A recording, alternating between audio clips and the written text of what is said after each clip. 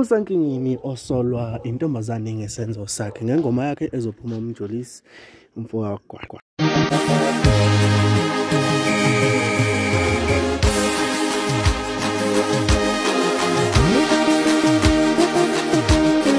ሀሳቡን አላውቅም ቢና ከፍኛ ክልል መወሰን ጀመጀቡን ላቢያን ማቲን ተዋቀብ ስንቶም በዛም ሻላዘል ዋዝም ሻዛብ ታዛም ቆመ እዚህ ዝም ቆመ ለመልካ ባኘ ዝባቅ መልማል ገና ወት ካብስ ክላ ክላ ካላም አብት ኮሜንት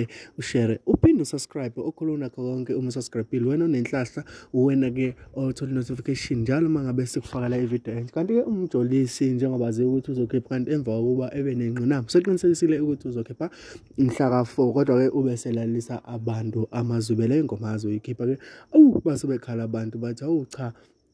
ozosicindezela mjulisi abanye-ke bavumelana namantombazane amantombazane lawa-ke anesimilo esixegayo ube seveza ingoma ethi ukwenza kwenu akufani ingakho siqoma kanje. Leyo ngoma-ke ibe isidlalwa ku-tiktok athi amantombazane kodwa useyithini manje umjolisi? Nangevumelana nathi kana kwethu ngaphandle kokuchithela isikhathi sakho ngicela ukuthi ulalele nawo umbukiso wakho. Uphinde ubuke futhi umbukiso bhanyabhanya ungakhohlwa ukusubscribe ngikuthanda ukubhopha